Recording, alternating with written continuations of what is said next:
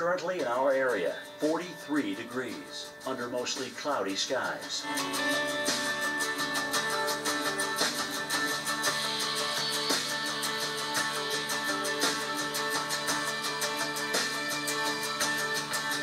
Today, partly cloudy, high 43, winds west at 10 to 15 miles per hour. Icy conditions late at night. A few flurries are possible. Low 28. Chance of precipitation 40%.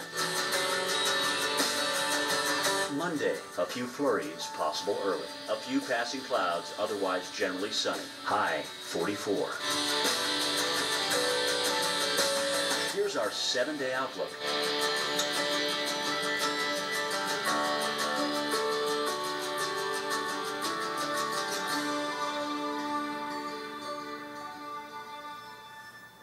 March, one man's trash